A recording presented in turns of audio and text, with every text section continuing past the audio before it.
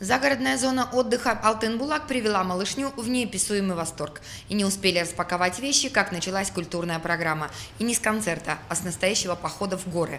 Подъем к плачущей пещере стал настоящим испытанием для атераровских семилеток. Но настоящие сюрпризы ждали ребятню впереди. Вы когда-нибудь проводили массу времени в компании с сумасшедшим доктором и его домашним питомцем динозавром? Купание, сладости и потрясающий ароматный плов. Под занавес вручение небольших подарков и напутственные слова.